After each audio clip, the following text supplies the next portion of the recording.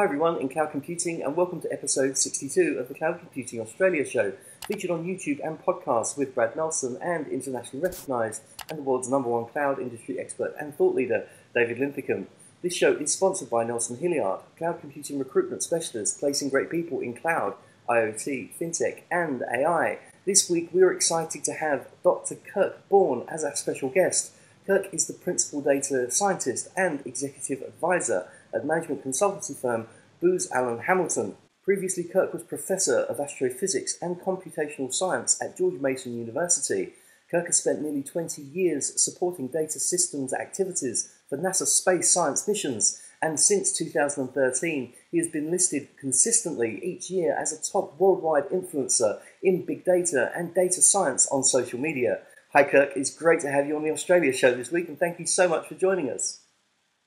Thank you, Brad. I'm so glad to be here. That's quite a mouthful introduction. I guess if I was Paul McCartney or Judy Durham, I wouldn't need such an introduction. It's a great introduction. Look, it's taken a couple of takes, but I'll make sure I edit it down so it just sounds so smooth. Uh, Dave, again, great to have you on the Australia show this week. Thanks for being a part of it. Yeah, it's great yeah, to be really, here. So, yeah, it's also he's very close uh, in the Washington D.C. area. So, Kirk, did you get your job by standing uh, on the side of the highway holding a sign says "I want to work for booze"? That's uh, sometimes I'm asked that question, and the answer is no. yeah, excellent. I love it. So, look, in this week's show, chaps, and, and look, we really do appreciate your, your time today. I know it's, it's taken a while to, to get all three of us together, so uh, I, am I'm, I'm really looking forward to the show as well. So, it's, it's going to be cool. So, look, in this week's show, we're talking about that artificial intelligence is reshaping the future of the financial services industry. And look, will AI transform the realities of financial institutions by radically changing front and back office operations, creating major shifts in structure and regulation for the financial services? So I guess the opening questions then for you coming to you first, Dave, is how do you see artificial intelligence upending the competitive dynamics for the Australian financial services ecosystem?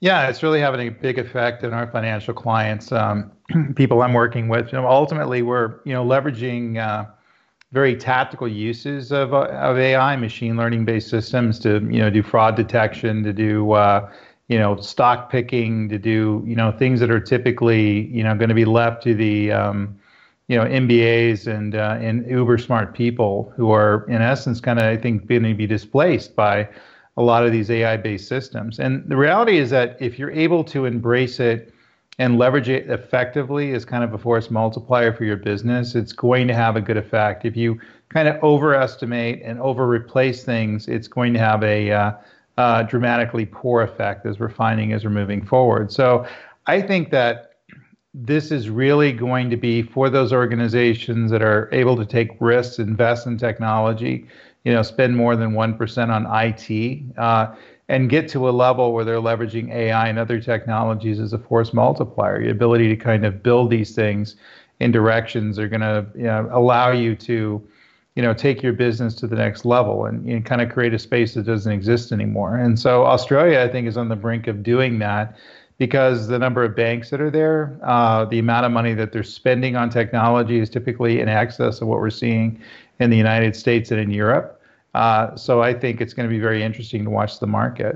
So what do you think kirk? Yeah absolutely. I agree with those statements. Uh, i'm just re- refreshing my memory I, I have made one trip to Australia in my life, and I was actually uh, doing some consulting with uh, various clients there of a company that hired me to come talk to um, some of their clients. And uh, some of the banks in Australia were, were, folks that I talked with, and it was it was very clear that even then, this was like six years ago, there was great interest in uh, getting more out of the data, more more sort of pattern discovery, and and therefore, you know, more efficient and effective operations.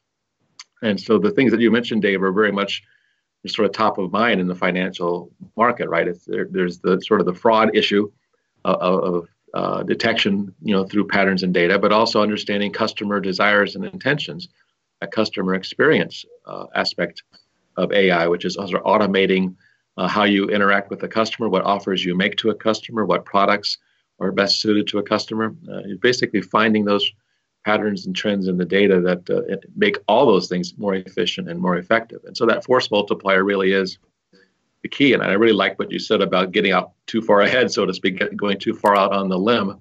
with this stuff because uh, if, you, if you take too big of a step, you're going to you know may, maybe not uh, you, over, you overshoot basically and not really find the uh, success as you would if you take smaller steps.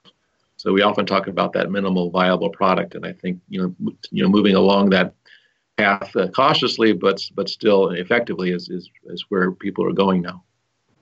So, where do you see the banking industry like in 10 years with the use of AI and other technologies? Do you think that this is going to be a, a make or break opportunity for lots of the bigger banks? Um, you know, um, marrying this with technologies like blockchain and other kind of tactical transactional things that we see in the space, and you know, some of the increased regulations that's that are going on. Is is this going to be a system where banks are just basically big computers with a few people around who maintain them? Well, I think we're still going to have the human in the loop. Uh, I think most organizations don't want to get rid of that uh, ex- human expertise, but I think you're right. There's uh, sort of a similarity to something I heard a few years ago uh, when we were at the. I was at the university and we were reaching out to local corporations, fairly large corporations, who had their international offices in the Washington D.C. area, to see if we could get some internships. And uh, for example, one of these companies was a major hotel chain. Uh, they have hotel properties all across the world and when we talked with them, they said, We no longer call ourselves a hotel company, we call ourselves a big data company who owns property. And so I think we're sort of going to see the same thing. That companies are going to say we are basically an AI company who happens to do banking. All right, so so they so they're using the AI again to sort of navigate all that information, both from the customer side, uh, from the market side, from the financial portfolio side, all, all these different ways of dealing with massive information flood in the in the world we live in today. And what makes it really different from the past is the personalization angle. I always think. Uh, in the past, you know, one size fits all, right? You, used to, have a savings account and you have a checking account, and that was pretty much it when you went to the bank. And now there's going to be, you know, choices tailored to the individual.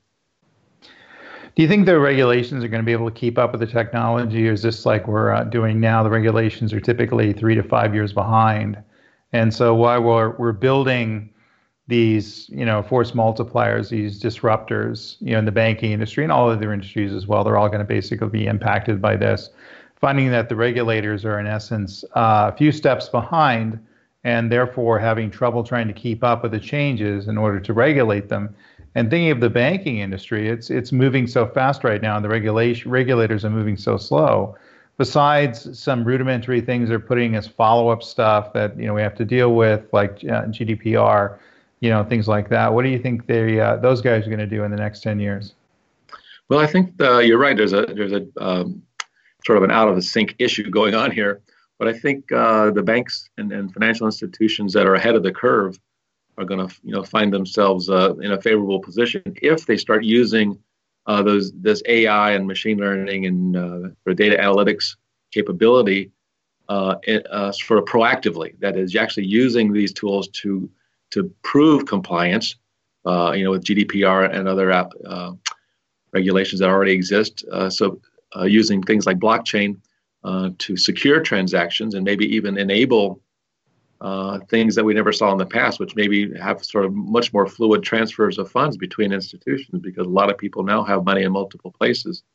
And sort of the same way you can share your electronic health record through a secure blockchain, from from you know one provider to the next. Uh, imagine doing the same thing with our financial data.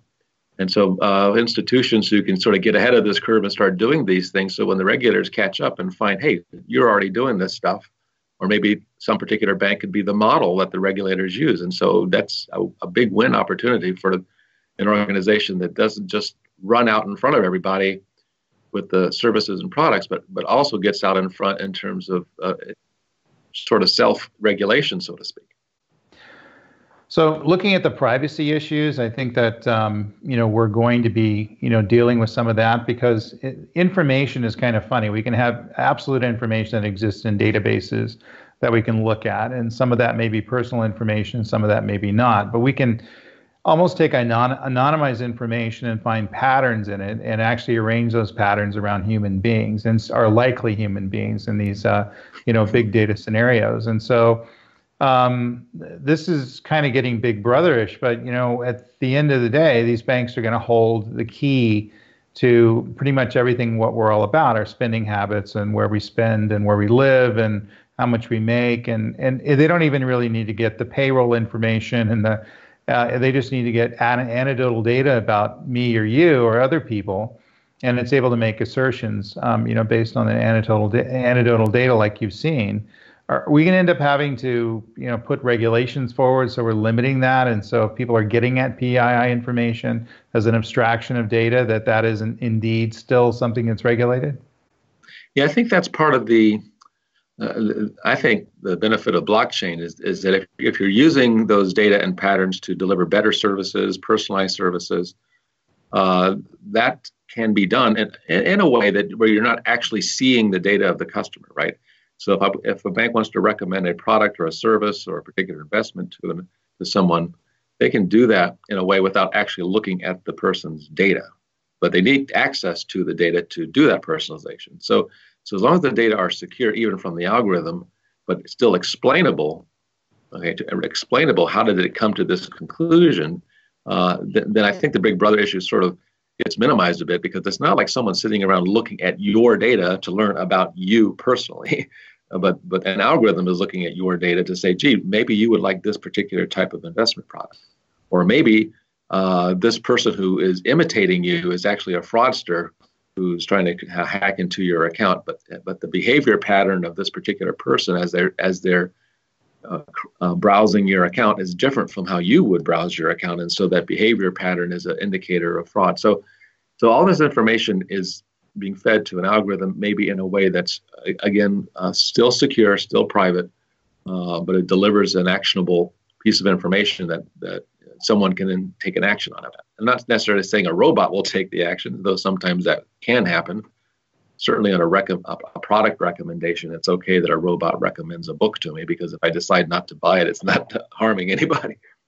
Uh, but yeah, I, I, think the algorithm doesn't need to know about uh, needs to know the data, but the individual person who's taking the action at the end of the chain doesn't need to know the personal information. Do do we see the uh, uh the banks? uh, who are really, really good at AI. As you mentioned, they're a, they're an AI company that also does banking. You know, versus a banking company that may or may not do AI, and they end up trouncing them in the market. And so they become not only a disruptor, but someone that displaces some major brands, including brands that are in Australia. Uh, do we see a lot of that happening in the next 10 years, or do you think the banks are going to be smart and start adopting the technology and leveraging it correctly? Well, I think there's a, a lot of fear in that in that financial world. When you look at the fintech uh, community that the startups around financial services and financial products. Uh, I mean, I'm not a real expert in uh, how disruptive they're going to be, but it's certainly a very disruptive uh, scenario is developing where, a lot of small players are able to deliver, you know, for example, information about loans, information about investments, uh, and you don't need to go to the big player anymore to, to, to get that kind of assistance.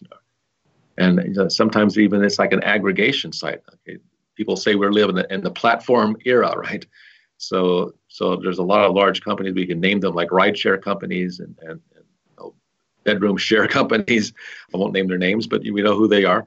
Uh, those companies don't actually own anything, right, except the platform on which other people uh, barter their services.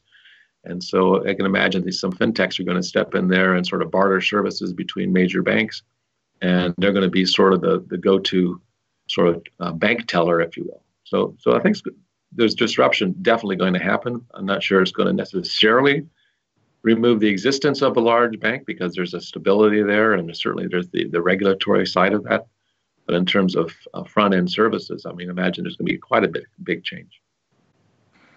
So, um, Brad, you actually live in Australia. So, uh, are people uh, around concerned about AI? I just want to thank you guys because the content's been great this week. I've thoroughly enjoyed listening to you both um, go backwards and forwards talking about this topic. So, look, I think the general consensus it can be very convenient to, to not have to sort of forward think too much when it comes to technology, and it's sort of almost second guessing your next move. But I think equally there is a, a an element of vulnerability on you know what access is available to the personal information. How is it going to be used? Is it going to be uh, used for the good of the cause, or is there an ulterior motive as to why this information is being collected?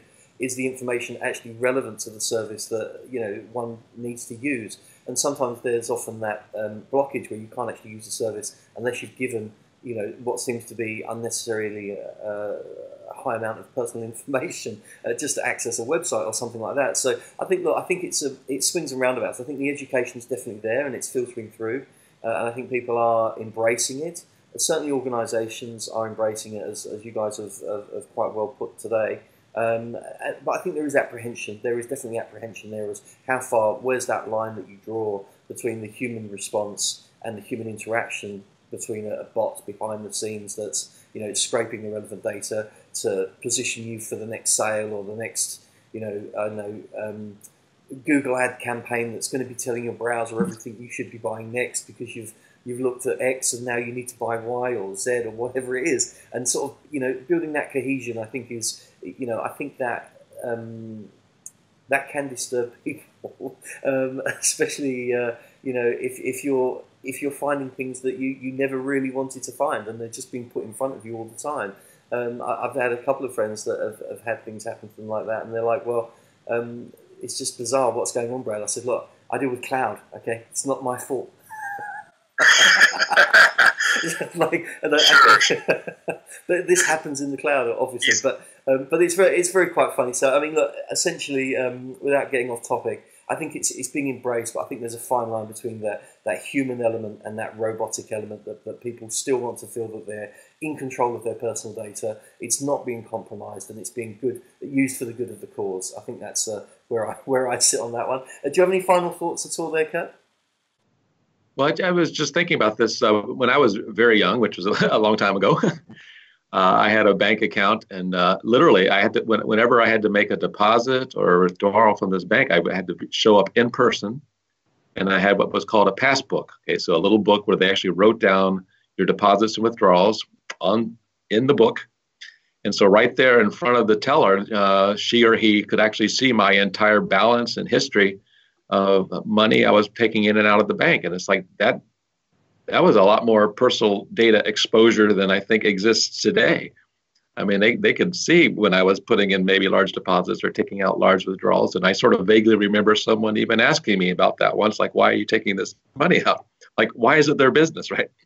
And so I, I think uh, th- there was a degree of uh, sort of knowing your customer then that maybe is parallel to today, where we didn't so much worry about it back in those days. And, uh, and I, I don't think we necessarily need to worry as much, again, because I think a lot of the algorithmic uh, consumption of data is uh, is going to be different than the, the human consumption of your data. So I don't think there's going to be as many. I don't believe there's going to be as many instances where, where some person is going to know your data as, as some algorithm is going to know your data. Yeah, it's true. You're, you're absolutely right. There was that sort of um, transparency back in the day where, where people kind of believe that's just the way things were. I think with the way technology's crept up, I think there's a, a, a skepticism sometimes or a cynicism around, you know, the paranoia of data collection, especially with all the, the Facebook stuff that was going on. that makes sense. I understand. yeah, thanks, Kirk. I appreciate that. And, and, Dave, do you have your top three tips for this week by any chance? Yeah, I, I think number one is um, is consider the value of the technology, you know, not necessarily how it's going to transform you. And I think that uh, a lot of businesses have a tendency to freak out about jobs and transformation and org changes and things like that versus the value this stuff can bring. Um, typically, there's an increase in jobs if there's an increase in revenue, which means it's driven by an increase in use of technology. So typically, it's going to be the right way to go. And if you're not embracing technology, you're typically going to find that failure is going to be at the end of that rainbow. And that's going to become reduced jobs and reduced uh, opportunities within the organization. So don't get paranoid by that. The other thing is people's mileage may vary. I see that um, companies out there are um, struggling with AI uh, to a great degree. They're overusing it, they're misapplying it. They're and, and it's cheap with cloud. You can buy it for, you know, pennies on the dollar what we had to pay for just 10 years ago and they're using it in odd ways that, that mis, are misapplied. They're using things where procedural language would be fine, and you know any kind of programming paradigm would be fine. And and you got to watch that because they're going to spend a million dollars when you can spend a hundred thousand dollars to the same sort of application. And then finally, I think data really kind of leads the day. Your ability to kind of get data aligned with any kind of AI um, I always say the food and the and the vitamins for AI is going to be the data ingestion you're able to do, whether it's IoT or edge computing or um, transactional systems, or you know even um, you know data we're generating by clicking things on a browser and your ability to manage that is probably fundamental and more fundamental to your ability to get kind of a mileage per gallon out of AI. And I think that people kind of overlook that. Their data ends up being a mess. They try to build AI systems on top of it, and it doesn't work any, anywhere near as well as a good data a good data uh, architecture that sits below an AI system. Yeah, great top tips there, Dave. Thank you so much. And I think that brings us to the close for the Australia show this week. So, Kirk, thank you so much for being part of the Australia show. It's been a, an absolute pleasure having you on and looking forward to the C Suite show and the training show coming up. Well, great. Thanks again. That's awesome. And, and Dave, thanks again for your top tips and, and thanks again for being part of the uh, Australia show. Yeah, it's good to talk about it. And go, go, out and go Australia, especially with the AI stuff, leading the way go Australia. Yeah, there's a huge amount of fintech startups over here as well that we didn't even touch on, uh, to be honest. So there's a huge amount of disruption heading the way to the financial services, that's for sure. And look, thanks guys, and thanks again for your content. It's been awesome. Uh, you can get everyone on Twitter, so I'll put all the links below, but you can get Kirk on Twitter, which is uh, at Kirk D. Borne. David's on Twitter, which is at David Linthicum. I'm on Twitter, obviously, at Nelson underscore Hilliard. As I said, all the links for all the social media are below in the description box, along with the blogs as well, so check those out. Thanks for watching, and remember to like, subscribe, comment, and share these videos with your friends and with your colleagues. Really important that we get your support, and we love your support, so thanks for all of that. Um, it's great. Um, Kirk's going to get this all over Twitter as well, which we're really excited about. So it's been a great show, and we're looking forward to the C-Suite show and the training show coming up. So thanks for watching, and until next week.